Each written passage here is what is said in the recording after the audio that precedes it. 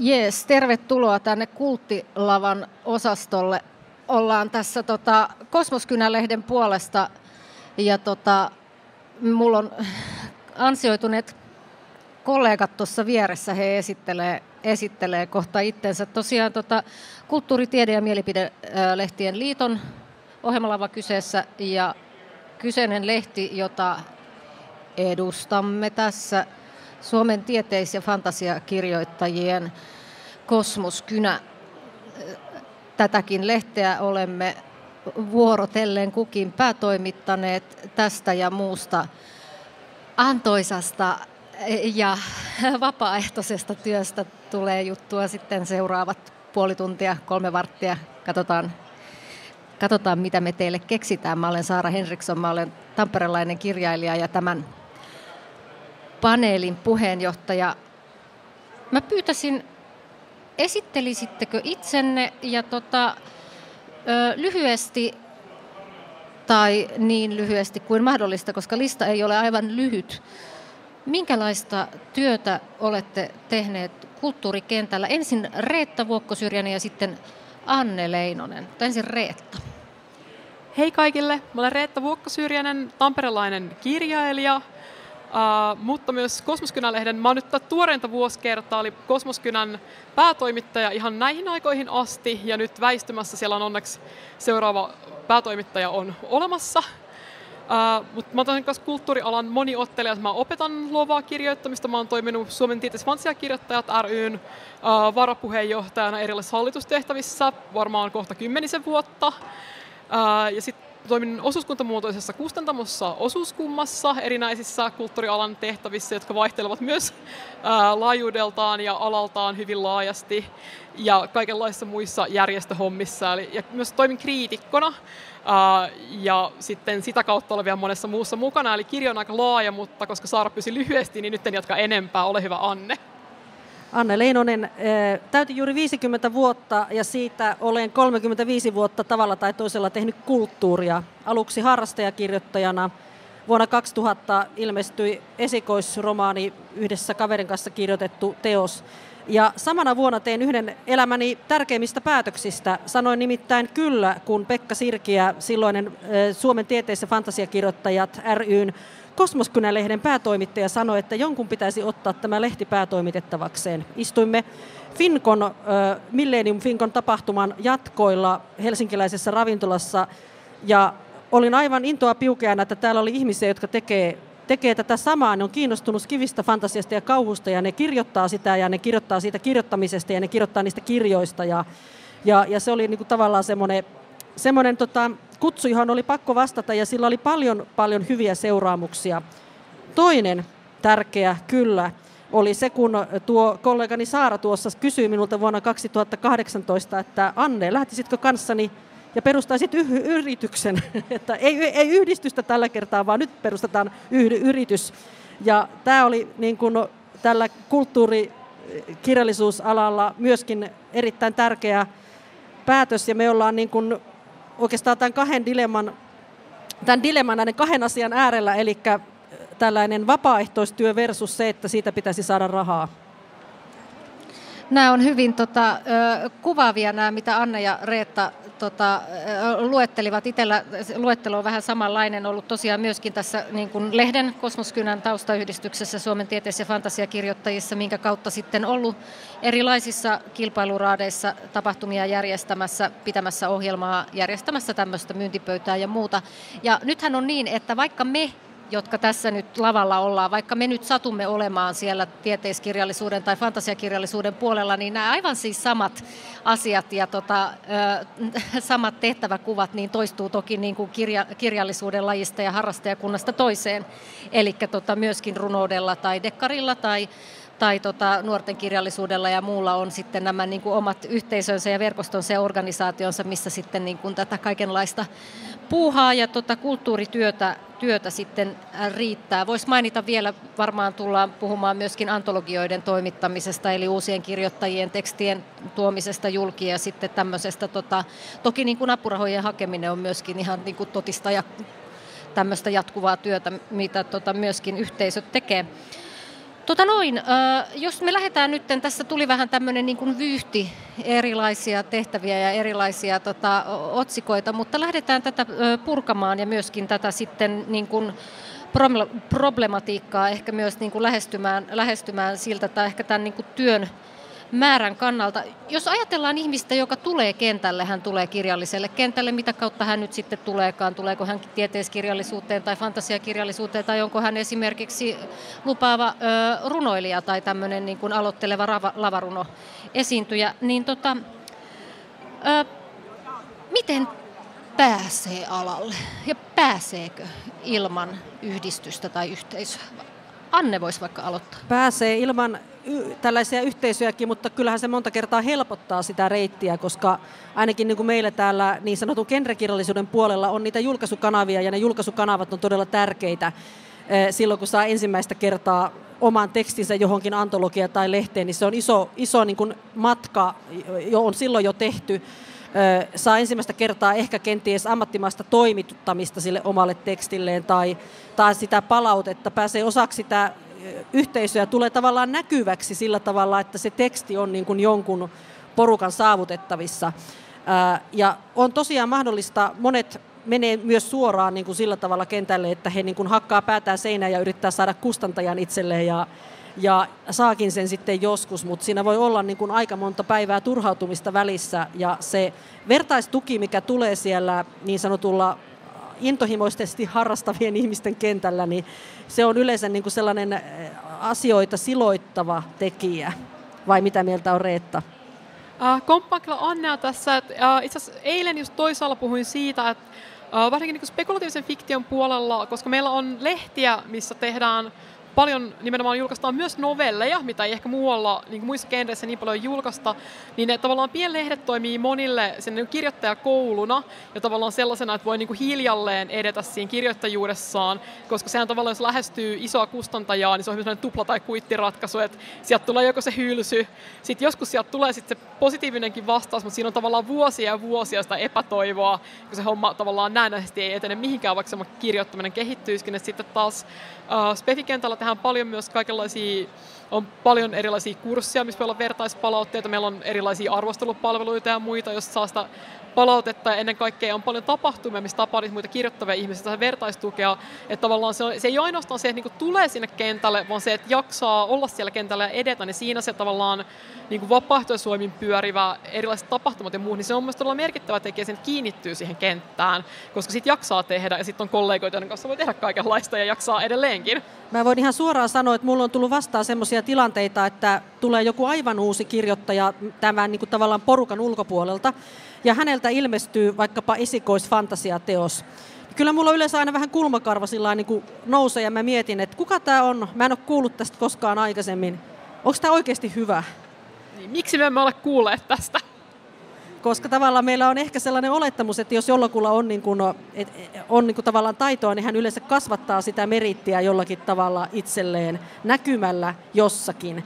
Mutta se on tietenkin, niin kuin, ei, ei päde kaikkiin, että jotkut saattaa tosiaan olla todella hyviä ja kehittyä sellaiseksi niin kuin omassa työkammiossaan, tai sitten heillä on semmoinen vertaistukiryhmä, joka ei näy niin kuin, tavallaan näissä niin sanotuissa piireissä, mutta aika moni näkyy niissä piireissä. Nämähän on myös toki kirjallisuuden lajikohtaisia, eli siis nimenomaan tieteiskirjallisuudelle on ominaista ja historiallisesti tärkeää ollut julkaista niitä tarinoita nimenomaan lyhyessä muodossa, eli novellin muodossa. Ja mun täytyy sanoa, että silloin kun mä olen tullut kirjoittajakentälle. Tämä on tapahtunut toissa vuosikymmenellä, eli silloin kun olen aikanaan itse novellistina debytoinut. Silloin ö, oli vielä, niin kuin maailma oli vähän toisenlainen, että isot, ö, tai no sanotaan no kaupalliset kustantamot järjesti myöskin niin kuin uusille kirjoittajille tämmöisiä novellikilpailuja, että lähettäkää, oli esimerkiksi novellit 2005, novellit 2006, Tammella oli ryhmäantologia ja muuta, millä sitten niin kustantamoiden puolesta etittiin sellaisia uusia ääniä, Nyttemmin näitä tämmöisiä novellikilpailuja ei ole niin kuin lähimpää kymmenen vuoteen mun mielestä kaupallisten kustantamoiden taholta enää yhtään samalla tavalla järjestetty, vaan se novellin julkaiseminen on jäänyt sitten pienten kustantamoiden taikka sitten näiden niin kuin kirjallisuus, niin kuin genrepoliittisten yhdistysten tota, järjestettäviksi. Voihan sitä toki ensimmäisenä niin kuin kirjallisena tota, läpimurtonaan tavoitella isoa nelinumeroista summaa kustantajalta, mutta näiden pienempien genreen osalta niin voi todeta, että yhtä hyvin voisi sitten lähteä vaikka kalaan ja viihtyä sen, sen niin kuin tota, yrityksen edestä. Tota, Anne mainitsi siis, joo toki kentälle tullaan ja tota, tulee tota, tänäkin vuonna hienoja läpimurtoromaaneja kirjoittajilta, jotka välttämättä ei ole aloittaneet sieltä novellipuolelta, mutta jos pääsee kentälle pelkästään niin kuin kustantajan tukemana ja ilman sitä niin kuin muuta, muuta genren tai kirjallisuuden harrastajien ryhmää, niin jääkö se kirjailija sitten helposti kuitenkin yksin, kun esimerkiksi toinen teos pitäisi saada maailmaan? Usein käy niin, jos ei ainakaan siinä vaiheessa osaa etsiytyä niin kuin harrastajien piiriin tai, tai löydä niitä kaltaisiaan. Ainakin meillä niin kuin tässä Skifi, kauhu ja fantasia kentässä niin on tietysti semmoisia omia ominaispiirteitä ja, ja tota, ihmiset on kauhean, äh, puhutaan fandomista, eli niistä harrastajista, jotka tukee tätä tätä työtä joko itse lukijoina tai sitten toimijoina. Aika monet fandomin ihmisistä on itse toimijoita, eli he, jos he eivät itse kirjoita kaunokirjallisuutta, he ainakin kirjoittaa kritiikkejä niistä tai toimittaa lehteen, johon voi laittaa materiaalia tai järjestää tapahtumia fanittaa niitä kirjoja, eli he on niin aktiivisesti mukana tässä kentässä ja, ja se, niin kuin, se porukka kannattelee koska tota, on tosi, tosi mahtavaa mennä johonkin Finkon tapahtumaan, vaikkapa ensimmä, yksi tai kaksi kirjaa julkaisseena ja huomata, että täällä on muuten salissa 150 ihmistä kuuntelemassa, kun minä puhun tällaisesta oudosta kirjasta. Ja se ei ole ihan itsestään selvää, että jos sä meet vaikkapa kirjakauppavierailulle, niin silloin on se viisi ihmistä, jotka juoksee karkuun, kun ne kuulee sanan spekulatiivinen fiktio. Tai kirjamessulavalle. Ja siinähän on myös, äh, jos ajattelee niin kuin laajemmin, just niin kuin, äh, tavallaan, jos ajatellaan, että on esikoiskirjailija, joka on tullut kentälle kylmiltään, äh, voi olla, että kaikki menee tosi hyvin, totta kai toimimaan, että kaikki menee tosi hyvin, mutta siinä on, äh, jos katsoo ihan tilastoja, siis Suomessa äh, yli 50 prosenttia henkilöistä, jotka on julkaissut esikoisromaanin, ei koskaan julkaise toista kirjaa, eli siinä on ihan valtava se kato. Uh, ja siitä tavallaan niin kun, toki osa ehkä haluaa kirjoittaa vain elämässään sen yhden kirjan ulos, uh, mutta sitten tavallaan siellä on kuitenkin paljon myös sitä, että se on todella haastavaa saada toinen kirja tehtyä. Siinä on, se on psykologisesti paljon vaikeampaa kuin se ensimmäinen, koska on jo niin kuin, ehkä lukijoita, on odotuksia, että mitä sieltä nyt tulee. Ää, ja sitten sen lisäksi tavallaan se, niin kun, sit kun sä olet jo alalla, niin sit se toimiminen on ylipäätään vähän erilaista sulta. Siinä kohtaa myös se, että on se yhteisön tuki ja muu, niin se on tosi arvokasta ja se on ehkä sellaista niin näkymätöntä kulttuurityötä, mitä ei jotenkin usein ehkä ajatella, että tämä on osittain sitä, mikä tuottaa meille laatukirjallisuutta, koska se ei ole suoraan niinkään se kirjoittamista, vaan luodaan se yhteys sen kirjoittamisen ympärille. Niin tässähän on sellainen oleellinen juttu, mihin me varmaan tässä vähitellen niin kuin hypätäänkin, on se, että tässä on tämä lehti, jonka kautta niin kuin me ollaan niin kuin oltu monessa erilaisessa roolissa mukana. Eli se, me ei ole oltu pelkästään päätoimittajia, vaan meidän tekstejä on julkaistu tuossa.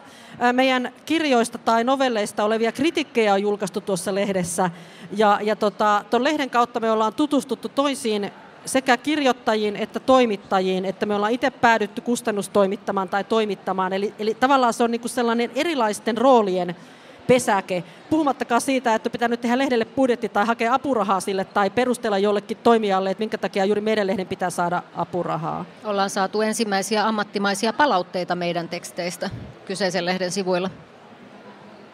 Eli tavallaan siis tällainen niin kuin kulttuuri, kulttuurilehti on niin kuin kirjailijoille ja kirjoittajille tällaisen kirjallisen elämän koulu, jos näin voisi sanoa. Ja se näkyy tosi konkreettisesti. Esimerkiksi monet Kosmoskynän vaikkapa kirja-arvostelijat on nykyisin Suomen arvostelijan liiton jäseniä ja niin kuin alalla on meritoituneita, mutta he eivät ole olleet sitä, kun he ovat aloittaneet tekemään juttuja Kosmoskynään. Me tavallaan kasvatetaan paljon myös niitä ihan muita kulttuurialan toimijoita kuin vain niitä kirjailijoita. Puhutaan kirjailijuudesta, puhutaan kulttuurin tuottamisesta ja ilmaistyöstä. Anne Leinonen, toimitit 15 vuotta verkkolehteä spekulatiivisen fiktion novelleihin tota, erikoistunutta verkkolehteä Usvat sinne. Ne on edelleen Usva-lehdet siellä verkossa tota, vapaasti kaikkien luettavissa. Mitä jäi käteen? Käteen jäi ihan mieletön joukko kontakteja. Mä rupesin tekemään sitä silloin 2005 sellaisella intohimolla, kun keskusteltiin paljon tästä spekulatiivisen fiktion asemasta ja saako termiä spekulatiivinen fiktio edes käyttää. Ja, ja olin sitä mieltä, että kyllä sitä termiä tarvitaan, että saadaan vähän siloteltua tieltä sinne mainstream-puolelle ja niin kuin tavallaan Spefin arvostusta nostettua Suomessa sekä kustantajien että niin kuin median silmissä. Ja, ja se oli tavallaan semmoinen iso agenda, jossa olin omalta osaltani, osa, omalta pieneltä osaltani mukana ja olen tosi ylpeä siitä, että olin mukana.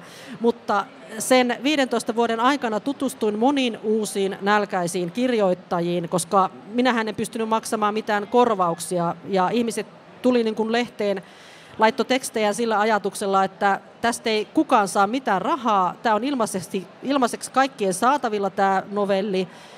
Eli tämä on niin kuin tavallaan täysin, täysin niin kuin sillä tavalla, että raha ei vaihda omistajaa, mutta tässä tehdään kulttuurityötä. Ja mä sain tosi hienosti ihmisiä mukaan niin kuin tekemään lehteä. Ja lopputuloksena mulle jäi tosi laaja kontakti porukka niin kuin ihmisiä, joista mä tiedän, että minkälaisia ne on kirjoittajina. Eli mulla on tavallaan niin semmoinen käyntikortti. Ja sitten kun miettii, että mitä mä teen sillä porukalla, niin on se, että jos mun pitää joskus vaikkapa johonkin antologiaan saada kirjoittajia, niin mä voin niin kuin heti miettiä, että ai niin se, se tyyppi kirjoittaa tällaista ja tällaista, tai, tai se oli tosi, tosi nopea tekijä, ja siltä pystyi tilaamaan jonkun tekstin, tai, tai ylipäänsä niin kuin esimerkiksi toimittajia. Sitten joskus multa saattaa joku ihminen kysyä, että nyt mä tartteisin tällaisen ja tällaisen tekijän, niin kun, että mistä mä semmoisen löytäisin, niin mulla on heti antaa useampi nimi, että kysy noilta. Kun se suosittelumekanismi pohjautuu ja perustuu siihen, että, että sä vois suositella, jos sä et tiedä tai tunne. Ja, ja tämmöisen lehden niin kun päätoimittajana näkee ja oppii tuntemaan ihmisiä ja tietää, että minkälaisia hyviä ominaisuuksia heillä on, jolloin heitä voi niin kuin aina niin kuin osoittaa ja suositella oikeaan osoitteeseen. Ja kyllä varmasti myöskin lehden päätoimittajana sitten sait julkisuuteen näitä niin kuin oman makusi mukaisia tekstejä.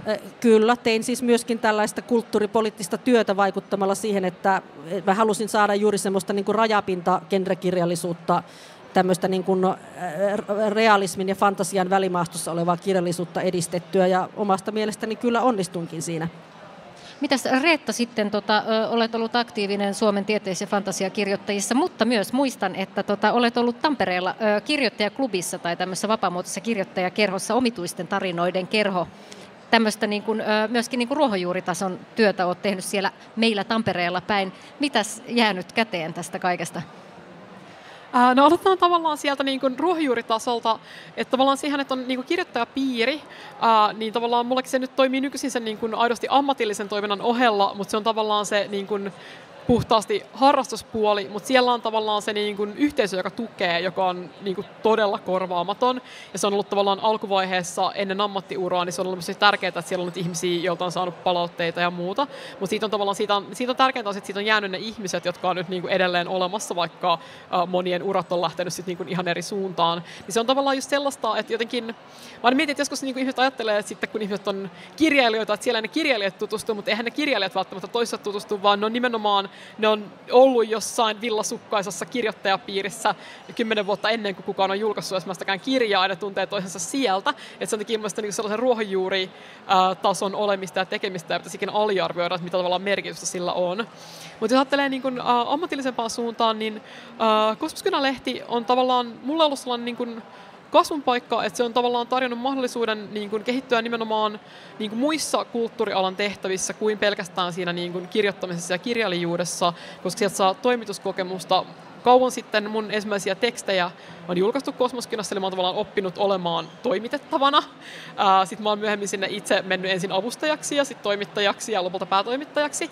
Ja siinä on tavallaan joka vaiheessa on oppinut lisää ja sitten konkreettisesta tekemistä, toimittamisesta ja sitten juurikin se, että sieltä saanut niitä kontakteja, et yksi semmoinen, että Kosmoskena haastattelee joka lehteen uh, uuden esikoiskirjailijan, mikä on tavallaan sellainen, että mä teen aina niitä tosi mielellään, koska sitten kun tulee niitä uusia ihmisiä kentälle, niin sitten mä aina tapaan sen uuden ihmisen silleen, että hei, tämmönen siisti. Nyt mä olin ihan innoissaan, toi, niin, uh, Vehka uh, Kurjemiekalta on tullut, tullut nyt hieno esikoisromaani, ja nyt sitten pääsen häntä haastattelemaan sitten varmaan niin kuin ensi vuoden johonkin numeroon. Ja sillä tavallaan se, että sieltä uh, se on semmoinen niin kuin jotenkin tavallaan niin kuin hyvä syy puhua ihmisten kanssa kirjallisuudesta. Mitäs tota, tämmöisessä ruohonjuuritason toiminnassa, kun olette ollut mukana toimittanut lehteä ja pyörittänyt yhdistystä ja muuta, niin tuommoisen julkisen tuen puolesta, minkälaisia, oletteko hakeneet apurahoja tämmöiselle toiminnalle? Onko ö, ylipäätään yhteiskunnalla niin kuin tarjota tukea tämmöiselle niin kuin omaehtoiselle ruohonjuuritason kirjalliselle työlle? Ö, huonosti, tai yhä entistä huonommin menee. Tuntuu, että kulttuurilehtituethan on muuttunut tosi, tosi niin kuin vaikeaksi meille pienille toimijoille. Pitäisi olla riittävän iso lehti, että sitä voi hakea ja pyörittää. Ja sitten toisekseen niin puuttuu semmoinen tukimuoto, joka olisi kohdennettu enempi ehkä semmoiseen kulttuurimentorointiin, koska, koska tähän on tämmöistä niin kuin kulttuurialan opastusta ja ohjeistusta, mitä, mitä me tavallaan opetetaan toisillemme näissä yhdistyksissä, mutta ei mikään taho tue sellaista toimintaa. Aina pitää olla joku projekti tai joku sellainen hanke, jossa, jossa pitää olla niin kuin selkeitä taloudellisia lukuja ja silloin on aika vaikea laittaa hintalappua sille työskentelylle, että toimii vaikkapa 15 kustannustoimittaja mentorina tai auttaa kymmentä kriitikkoa niin kuin parantamaan heidän kritiikkejään. Joo, siis toi mentorirooli on sellainen, äh, mihin on tosi vaikea saada mitään tukea, että kun Kosmoskynänkin idea on se, että se kasvattaa niin kuin, uusia tekijöitä kentälle, mikä tarkoittaa, että ne vanhat tekijät siirtyy hiljalleen, siirtyy toimimaan ammatillisesti, äh, mutta sitten tavallaan on tärkeää, että he jaksaa myös tukea sit niitä uusia kentälle tulijoita, niin tavallaan siihen sitten on tosi vaikea löytää mitään tukea. Mutta sen verran kuitenkin niin pienenä hopeareunuksena sitten, äh, jos ajattelee niin kuin, uh, just vaikka tavallaan niin kuin, siis kritiikkipuolta lehdessä, niin mulle kyllä henkilökohtaisesti esimerkiksi noin siis Suomen arvostelijaliiton niin kopiostoapurahat on ollut tosi tärkeitä siihen, että on pystynyt uh, siis tekemään kritiikkejä nimenomaan siis niin kuin tosi vähälevikkisestä kirjallisuudesta. Mä erikoistun uh, niin lasten ja nuorten spekulatiiviseen fiktioon, mikä on semmoinen marginaali kohtaa marginaalin, eli niitä niin kuin ammattikritiikkejä tehdään todella vähän, niin siihen esimerkiksi niin kuin Sarvin apurahat on ollut niin kuin todella jotenkin merkittävä, että vaikka ne niin kuin, harvoin on iso, ne mahdollistaa aina sen niin kuin yhden artikkelin artikkelisarjan, jota muuten ei pystyisi tekemään millään. Et sitten tavallaan taas siinä sitten uh, pystytään näitä julkaisemaan taas esimerkiksi Kosmoskynän puolella. Ja tavallaan se niin kuin, uh, tekeminen ehkä niin kuin, tavallaan se lehden vieminen niin kuin jotenkin ammattilaissuuntaan voi olla niin kuin taloudellisesti haastavaa, mutta sen sisällä niin kuin tekijät pystyvät etenemään hiljalleen ammatillisempaan suuntaan myös taloudellisesti. Mä olen myös huomannut tämän niin kuin julkisen tuen tai tämmöisten apurahojen niin kuin tiukkenemisen tai niukkenemisen tai miksi sitä nyt sitten sanoisikaan. Ja tota, toinen on ollut ehkä sitten, niin kuin, nyt täytyy sanoa, että muutaman viime vuoden aikana voidaan puhua ehkä vielä niin kuin korona-ajasta tai yleisemmin tavallaan niin kuin tämän vuosikymmenen puolella niin tämmöisestä niin kuin, ä, erilaisista tota, myös pandemiavaikutuksista. Onko korona rapauttanut yhdistystoimintaa ja, ja niin kuin millä tavoin muutenkin kuin, niin kuin siitä niin kuin rahan näkökulmasta? Joo, mä voisin vastata tähän ensimmäisenä. Nyt tavallaan niin kuin, koronavuosina Uh, Minusta tässä on ihan valtava murros siinä, että tähän asti esimerkiksi vaikka Suomen tieteelliset fantasiakirjoittajat on toiminut noin 40 vuotta.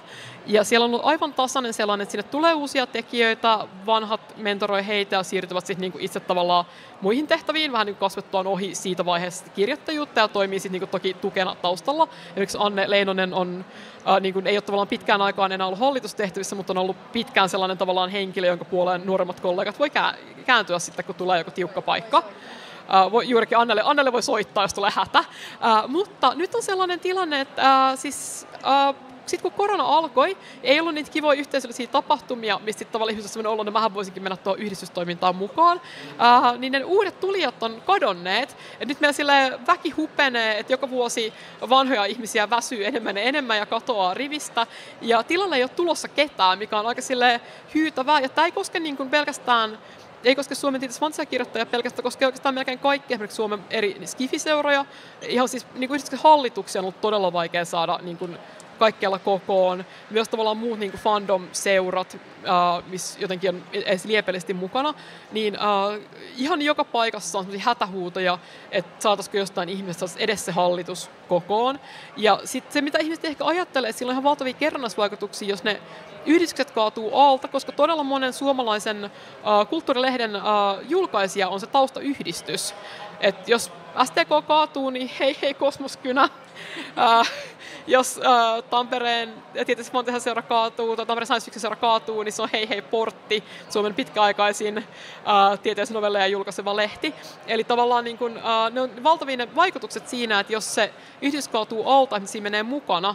Esimerkiksi Kosmoskynä ei voi olla olemassa ilman, että siellä on se julkaiseva taustayhdistys. Ja tämä on nyt semmoinen jotenkin niin kuin kriisin ja murroksen paikka, mitä mä oon kyllä miettinyt tosi paljon siltäkin kannalta, että se ei välttämättä ole myöskään vaan se korona, vaan toisaalta myös sellainen, että ehkä meidän niin yhteiskunta on muuttumassa individuaalisempaan suuntaan. Ja se ei välttämättä kaikki ole huonokaan, että siinä on tavallaan tullut sit rinnalla sitä, että nyt meillä on vaikka uh, sosiaalisessa mediassa on niin kirjagrammin ja muiden nämä, niin kuin, siis kirja, somettajayhteys. Nehän on valtavia, ne on tosi yhteisöllisiä, mutta siellä pystyy tekemään sille yksilöllisemmin, että se ei tavallaan vaadi sitoutumista siihen yhdistyksen hallitustoimintaan ja siihen pitää miettiä, mistä me haetaan rahaa ja ö, miten kerätään jäsenmaksut ja miten nämä kaikki toimii. Ö, niin siinä tavallaan se niin kuin, ö, on sellainen niin muutoksen kohta, että se ei välttämättä kaikki ole niin huonoakaan, mutta tällä hetkellä, kun se murros on vasta tapahtumassa, niin se näyttää jotenkin kohtuullisen jäätävältä niin kuin tältä puolelta katsottuna. Mitäs Anne? No mä en ole ollut sillä nyt koronan aikana missään yhdistyksessä varsinaisesti sillä tavalla aktiivisena, että olisin nähnyt semmoista aktiivien katoamista, mutta ehkä siihen liittyy semmoinen toisenlainen, ehkä myös positiivinen muutos on se, että jengi oppi yhtäkkiä käyttämään näitä videoneuvottelujuttuja ihan sillä toisella tasolla kuin mitä aikaisemmin. Yhdistykset perusti Discord-kanavia itsellensä ja ja tota, nyt on tavallaan niin kuin myöskin siellä jossakin pohjoisessa tai idässä maaseudulla asuvan ihmisen on helpompi tavoittaa näitä kuvioita, että ei tarvitse aina matkustaa jollekin isolle paikkakunnalle niin kuin live-tapaamiseen, että pääsee niin kuin mukaan. Et periaatteessa sitä kynnystä on toisaalta madallettu, mutta nyt ehkä on niin niitä, sitä hälyä on niin paljon ympärillä, että on ehkä vaikea niin kuin huomata tätä hätähuutoa, että täällä oikeasti tarvittaisiin. Ja, ja sitä live-tapaamista ei pidä unohtaa, koska kyllä se rekrytointi parhaiten toimii silloin, kun ihmiset niin kuin kohtaa kasvokkain. Ja sä oot myös, Anne, vaikka et ole ollut yhdistyksen puolesta näitä usvaleirejä järjestämässä, niin olet kuitenkin niin kuin omasta puolestasi ja omakustanteisesti näille kirjoittajille ja kirjailijoille järjestänyt usvaleirejä vuosia ja vuosia järjestit tota, siellä tota, teillä maalla tiluksilla tota, kirjoittajille Kyllä. leirejä. Onko tämmöiselle toiminnalle vielä tarvetta? Kyselyjä tulee tosi paljon nyt, kun korona on tavallaan sillä tavalla helpottanut, että ihmiset uskaltaa taas liikkua, niin kyllä ne kyselee, mutta sitten tavallaan nyt alkaa oma kapasiteetti olla vähän sillä, että ei pysty samalla tavalla järjestämään kuin aikaisemmin. Mulla oli varmaan parhaimpina vuosina peräti viisi leiriä vuodessa. Niitä oli talvella ja keväällä ja kesällä. Ja, ja tota, muistan, että joskus oli semmoinen liukumaleiri, että ihmisiä tuli ja sitten ne, niitä lähti keskiviikkona pois. Ja samana päivänä rupesi tulee uusia tilalle, mutta nyt ei enää kestä. ei pysty ihan kaikkeen. Et vanhat väsyy sen huomaa ja sitten pitäisi olla niitä uusia toimijoita, jotka jaksaisi ottaa sitten vastuun itselleen.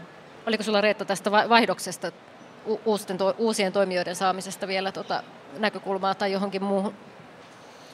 Uh, no ehkä tavallaan jotenkin se, että tuossa niin kun, uh, just kun niin kun, uh, tavallaan Anne mainitsi tuonne, että niin kun, nyt on helpompi tulla tavallaan mukaan Äh, koska Discordia ja muiden kautta pääsee siihen keskusteluun mukaan, mutta sitten kun ei ole kasvokkain, niin se ehkä tekee sellaisen tavallaan, että se näyttää jotenkin siltä, että se niin kuin, vaikka kulttuurijärjestöjen ja muiden hallitukset, ne on jotain semmoisia niin kuin erillisiä, jotenkin isompia, jotta ne toimii siellä jossain, niin se se kynnys niin kuin lähteä mukaan on isompi. Uh, siihen tavallaan niin kuin ydintoimintaan, että on helppo tulla sillä niin liepeellisesti mukaan, mutta sitten tavallaan jos näkisi kasvokkaan, niin näkee vaikka, että Anne Leinonen on ihan tavallinen ihminen ja Annen kanssa voi mennä hallitukseen ja sitten siellä voi tehdä asioita, uh, mutta jos tavallaan Anne Leinonen on vaan ääni Discordissa uh, ja sitten oikein, niin mitä ne siellä hallituksessa tekee, ne varmaan tietää jotenkin jostain ihan hirveästi jotain, mitä me ei tiedetä, niin sitten sinne on paljon vaikeampi mennä mukaan siihen toimintaan, niin se vaikuttaa tosi paljon ehkä myös siihen, että se voi olla yksi syy, miksi niin kun, just niitä tavallaan niin ydinaktiiveja on vaikea löytää. Että ihmiset on kahden mukana ja tulee kaikenlaisiin tapahtumiin, mutta niitä järjestävää osapuolta on niin haastava löytää. Ja siihen voi myös liittyä semmoinen, että ihmiset on vähän enemmän tosiaan individualisteja ja he miettii sitten semmoista, että mitä hyötyä mulle on tästä, että olen tämmöisessä organisaatiossa mukana. Että nehän vaan niin kuin vie multa kaiken energian, kun mun pitää niska limassa tehdä jotain lehteä jossain niin kuin tosi tiukassa aikataulussa ja siitä ei saa rahaa. Ja siis tuo rahakysymys on sellainen, että niin kun, uh, jotenkin Uh, mäkin olen kuitenkin aika monta vuotta tehnyt just vaikka kosmoskynän asioita, niin se on niin kuin, uh, kysytään, niin kuin, no, mutta saako tästä palkkia, niin se on ruvennut kasvamaan jotenkin aika paljon. Uh, et, tavallaan se, niin kuin, ennen jotenkin ihmiset tuli niin kuin valmiimmin tekemään myös ihan vapaaehtoisesti. Sitten se on tavallaan se on myös tosi tervettäkin, että nuoret ihmiset on silleen, että emme nyt niin kuin ilmatteeksi tulla teille mitään tekemään. että se on tavallaan se on niin kuin tosi järkevää, mutta kääntöpuoli on se, että sitten taas kukaan ei ää, tee mitään talkootyöllä, niin sitten kaikki tällainen niin kuin pienempi kulttuuri lehdistö ja muu näivettyy, koska sitten taas siellä se niin kuin, ainakin tämän hetken tosiseikka on nyt vaan ei niin kuin ole mahdollista tuottaa ilmasta talkootyötä kuitenkaan, varsinkin niin kuin järjestöpuolella. Ja se vaatii sen, että pystyy ajattelemaan, että me tässä teemme meille, me tietees- ja fantasiakirjallisuuden ystävät esimerkiksi teemme niin kuin meille itsellemme tätä lehteä näistä aiheista, mistä olemme kiinnostunut. Et sitten jos ei pääse mukaan siihen yhteisöön tai jos ei tota, niin kuin ole siinä sosiaalisessa tavallaan niin kuin, ö, piirissä tai sfäärissä, niin silloinhan siihen ei synny sitä niin kuin meille tekemistä, jolloin sitten tota, on niin kuin, ä, ei, ole, niin kuin, ei ihminen motivoidu, hänellä ei ole niin kuin syytä esimerkiksi julkaista ilman palkkiota juttuja niin kuin toisten lehdissä. Joo, ja se, on, tota, se vaatii aikamoista semmoista henkistä kasvua tai hypähdystä, ehkä kypsyyttä, että, että onkin se intohimon kohde onkin se, että haluan tehdä kulttuurityötä suomalaisen spekulatiivisen fiktion edistämiseksi, ää, kun, kun totta kai se pohjimmainen tarve on ehkä tavata niitä ihmisiä ja olla mukana jossakin, mutta just se, että tajuaa myös sen, että sillä voi olla isoja suuria vaikutuksia, että on mukana tekemässä sitä kulttuurityötä. Mä niin itse esimerkiksi ajattelen sillä tavalla, että meillä ei olisi tätä suomalaista spefivientiä ollenkaan, jos meillä ei olisi näitä kulttuurilehtiä, siis 80-luvulla perustettuja yhdistyksiä ja sitä pohjatyötä. Et kaikki perustuu siihen, että joku on joskus päättänyt, että nyt Suomeen pitää perustaa näitä yhdistyksiä ja näitä lehtiä joku on joskus päättänyt, että tämmöinen kirjallisuus on hyvää ja kannatettavaa ja tämä kiinnostaa meitä ja me halutaan niin kuin tehdä tätä eikä niin kuin kaikella, kaikella kunnioituksella ja rakkaudella yleistä kaunokirjallisuutta ja niin kuin, ö, lukuja niin kuin viihdekirjallisuutta kohtaan, niin on kuitenkin sit niin kuin myös erilaisia makuja, mitä halutaan, halutaan toki kirjailijoina, kirjailijoina tyydyttää ja sitten lukijoina myöskin tota nauttia. Nyt tota, kun mietitään edelleen tota kulttuurityön, kirjailijuuden ja sitten tämmöisen ehkä ilmaistyön näkökulmasta tai yleishyödyllisestä näkökulmasta, kun on mahdollista ja on mahdollista, koska meillä on nyt siis syntynyt näitä yrityksiä, esimerkiksi juuri Anne Leenosen kanssa edustamamme yritys. Mehän voidaan siis järjestää ö, vapailla markkinoilla vapaarahoitteisesti ö, ihmisille kursseja niin paljon kuin, tota, kun vaan tota, niin kuin jaksetaan ja, ja tota, huvittaa, mutta tota, mitenkä, niin kuin, mä edelleen ehkä palaan tähän niin kuin julkisen, julkisen tuen tai tavallaan tämmöisen niin kuin tuen näkökulmaan. Mitä sitten niin kuin nuoret lahjakkaat kirjoittajat, joilla ei ole niin kuin varaa maksaa niin kuin markkinahintaisia esimerkiksi kirjoittajakursseja, että miten heille saisi niin kuin jatkossakin tämmöistä tota, apua ja tukea? No tässähän palataan taas sinne järjestökentälle. Suomen tieteellisen fantasiakirjoittajien yksi tehtävä on nimenomaan kasvattaa niitä uusia tekijöitä sinne kentälle, minkä takia yksi tärkeä osa sitä yhdistyksen toimintaa on nimenomaan se, että haetaan apurahoja, että voidaan järjestää kursseja ja palkata sinne ammattitaitoisia opettajia niille kursseille.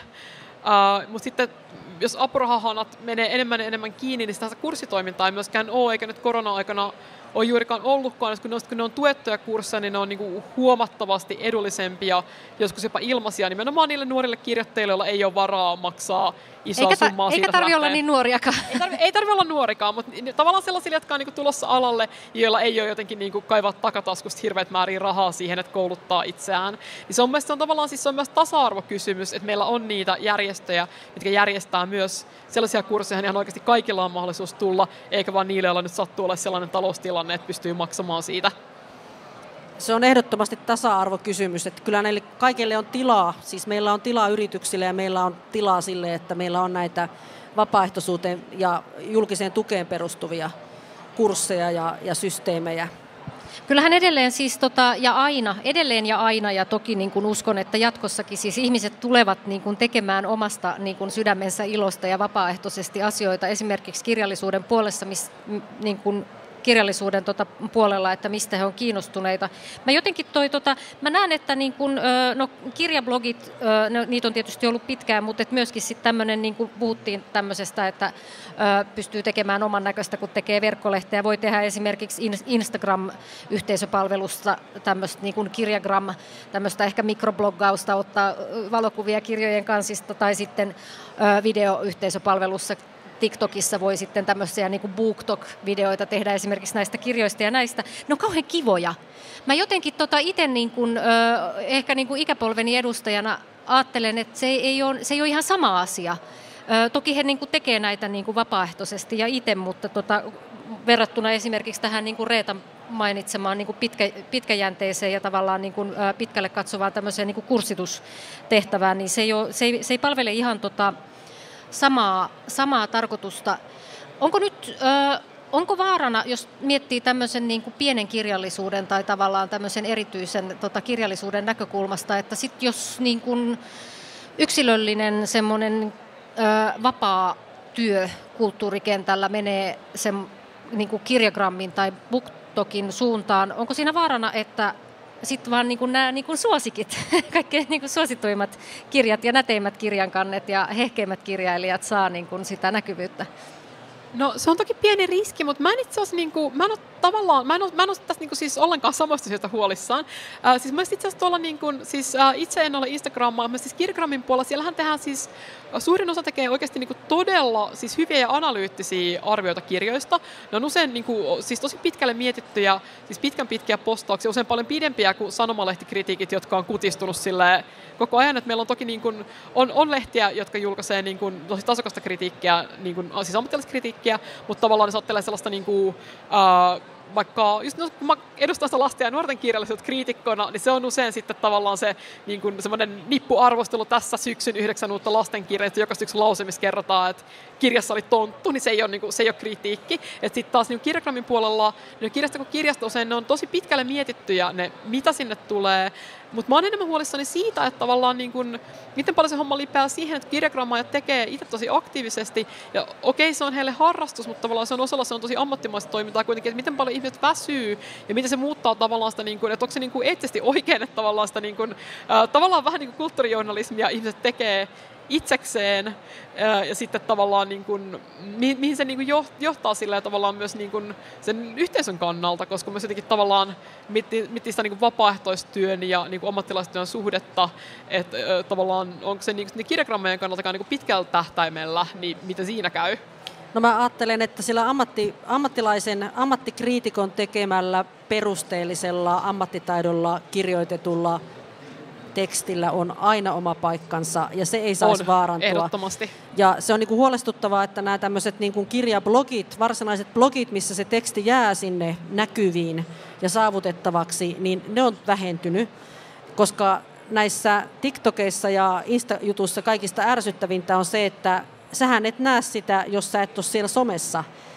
Ja, ja tota, sitten kun se on ollut siellä, niin sitten sehän katoaa sinne jonnekin ja kuka jaksaa niin kuin etsiä tai kuka löytää niiden palveluiden avulla enää mitään sieltä sen jälkeen. Eli tavallaan sitä, ää, kysymys on myös tavallaan niin kuin siitä, että onko se ammattimaista toimintaa vai onko se nyt nimenomaan sitä vapaaehtoistoimintaa. Ja, ja tota, nämä niin kuin osittain menee limittäin, mutta niillä on myös niin kuin tosi tärkeää olla oma paikkansa.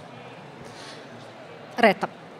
Äh, joo, sillä aina komppaan Annea siinä, että se on tavallaan niin kuin, perinteinen lehtikritiikki on niin kuin, todella tärkeää, mutta sitten tavallaan just se, että on nyt semmoinen jännä niin kuin silleen murrosvaihe tossakin, että sitä on nyt vaikea sanoa, että mihin se niin kuin kokonaiskenttä kehittyy, sitä on tosi kiinnostava seuratakin, että mitä siitä nyt loppujen lopuksi tulee niin kuin laajempana ilmiönä. Ja siis parhaimmillaan ne on, kirjagrammin arviot on siis ammattimaisesti tehtyjä, että en, en, en kritisoisi sitä laatua, vaan sitä, että tota, se ei saa syödä sitä ammattikuntaa kuitenkaan, eli, eli tota, kriitikon ammatti on kriitikon ammatti. Ja se oli tavallaan se, että tarkoitin just sillä, että mä oon äh, huolissaan siitä kokonaiskehityksestä myös just tavallaan sen suhteen, että no mä olin viime vuonna puhumassa nimenomaan siitä, että miten se niin kuin, tavallaan, niin kuin, äh, koska ammattikritiikkejä nykyisin sanomalehdet julkaisee vähemmän, niin tavallaan, että minne se valuu sitten se työ, sitten toisaalta se, että olisi tärkeää, että ammattikritiikkejä olisi, mutta katsotaan miten käy.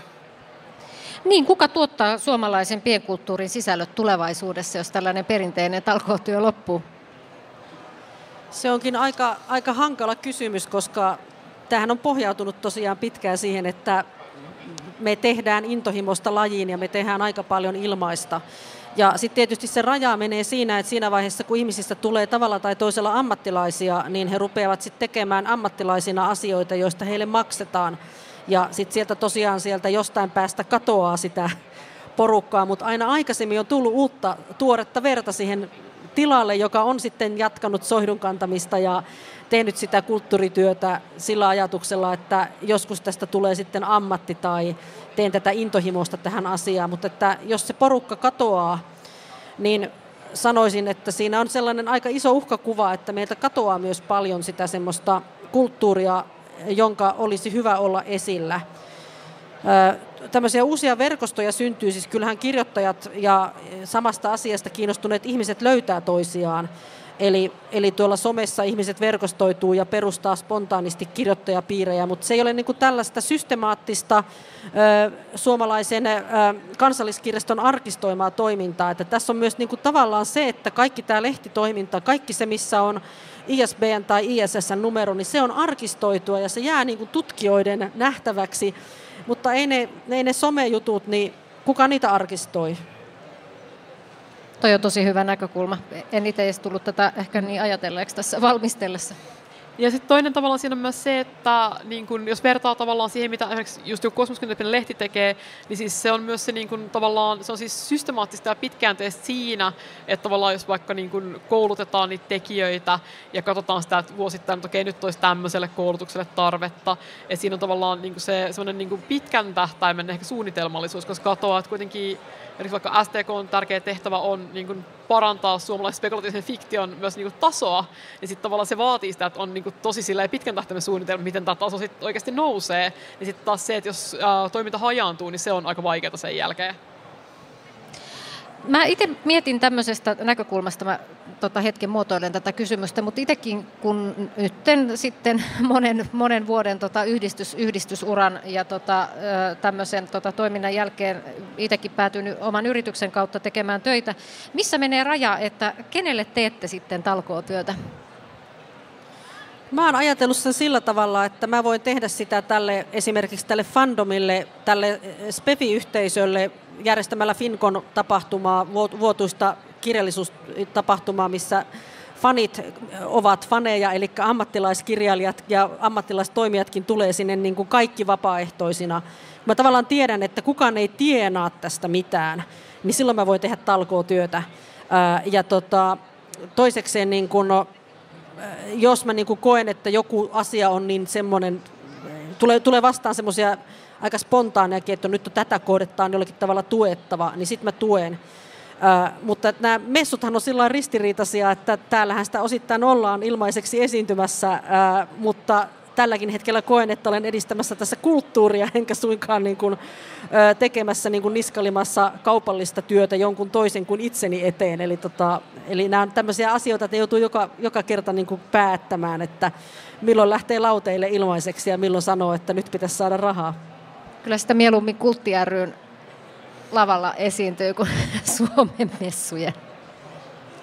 Joo, kyllä mä tota, niin siis kanssa sanoisin, että se on, se on aika tapauskohtaista, uh, mutta siis tavallaan just toi, että niin kun, jos siinä toiminnassa muutenkaan ei raha liiku, se tavallaan ehkä semmoinen, että jos se on niin kun, luoteltaan sellaista tuottaa jotain niin kun, yhteiseen pottiin, että jos vaikka toi Anne mainitsi, on Fincon, se on niin tapahtuma fandomilta fandomille, että siinä tavallaan tehdään niin sitä yhteistä kulttuuria, tai se, että vaikka suomentieteelliset fantasiakirjoittajat tuottaa sen niin kuin yhteisöllisen kirjoittajaympäristön kaikille niin kuin sen alan tekijöille, niin sehän tavallaan niin kuin, sit siinä voi olla itse mukana, että se tavallaan niin kuin on sellainen, että se uh, tuottaa niin kuin kaikille jotain, ketkä on niin kuin jotenkin liepellistikin siinä mukana, niin silloin se niin kuin talkootyö on ihan niin kuin ok ja perusteltua. Ja sitten tavallaan sit se muuttuu heti paljon vaikeammaksi, jos raha liikkuu ehkä jossain kohtaa jonnekin päin, niin sitten siinä tulee paljon harmaita alueita heti mukaan. Kyllä mä ajattelen niin kuin kaupallisuuden näkökulmasta, että tota, jos mä teen maksusta ja kun mä teen maksusta, siis olen, olen siis tota freelancerina oman yrityksen kautta toimiva kustannustoimittaja, mutta silloin kun mä saan palkkaa, niin mähän teen asiakkaalle. Silloinhan mä teen niin kuin asiakkaan ehdoilla ja sitä, mitä asiakas haluaa. Mutta silloin kun teen sitä, mitä itse haluan, eli esimerkiksi kirjoitan blogiini jostakin obskuurista pienjulkaisusta, niin se vapaus oikeastaan niin kuin piilee siellä. Ja tähän on varmaan niin kuin hyvä itse asiassa tätä meidän keskustelua lopetellakin. Kysyn Annelta ja Realtalta ihan suoraan, että onko vapaus ainoastaan ilmaistyössä? Täytyy sanoa, että kyllä se oikeastaan siltä tuntuu, että jos haluan kirjoittaa, mitä kirjoitan, vaikkapa kaunokirjallisella puolellakin, niin silloin ei pidä kysyä kustantajalta, että mitä haluaisit, vaan silloin vaan pitää tehdä sitä, mitä, mitä niin kuin haluaa tehdä ja sitten voi niin kuin kysellä myöhemmin, että onko kukaan kiinnostunut tästä vai julkaisenko itse vai heitäkö roskiin? Ja kyllä se niin kuin, äh, vapaus rajautuu ainakin vähän ahtaampaan laatikkoon heti, jos niin mukana on mitään kaupallisesti. Sen takia kyllä mielestäni niin kuin sellainen, koska mä jotenkin olen kirjallisen alan ammattilainen, mutta mä teen säännöllisesti myös sellaisia, mitä vaikka tavallaan kutsun itsekin niin kuin harrasteprojekteja, että mä saatan toimittaa vaikka jotain antologiaa, mikä tavallaan se näyttää samalta kuin julkaisisin jotenkin kaupallisesti tehdyn kirjan, mutta se on sellainen, että siinä välttämättä niin kuin, voi olla, että raha ei välttämättä liiku ollenkaan, niin se on tavallaan sellainen joku, mistä mä oon itse ollut innoissaan, että tämä on semmoinen, että tämän mä haluan tehdä, että siinä on jotain. Mä oon tehnyt siis äh, STKllekin on toimittanut jotain antologioita, ne on esimerkiksi sellaisia, että ne on aina, ei niistä niinku, tavallaan rahallisesti kukaan hyödy mitään, se tuotto menee sitten taas silleen, että yhdistys pysyy pystyssä, ja ne on tavallaan sellaisia, että vaikka että tämä on nyt tosi kiva projekti, että mä haluan tehdä, tehtiin vaikka semmoinen äh, siis utopia-fiktio-antologia, Aurinkosydän, ja se oli semmoinen, että mä olin vaan silleen, että utopia-fiktio että se on tosi kiinnostava aihe, että tämän mä haluan tehdä, tehdä. Ja se oli niin kuin tosi mukavaa.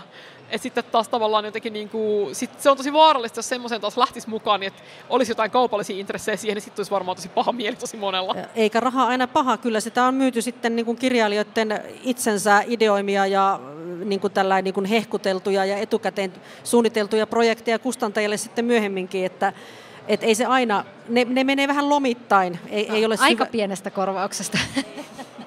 Voi siellä olla onnenkantamoisia kuitenkin. On, on. Ja vapaa, vapaaehtoistyö tosiaan tota, sanana sisältää myöskin sen sanan vapaa. Kiitoksia Reetta, kiitoksia Anne ja kiitoksia yleisö. Tähän vartin tauko tulee nyt tähän ohjelmaan. Kiitoksia. Kiitos.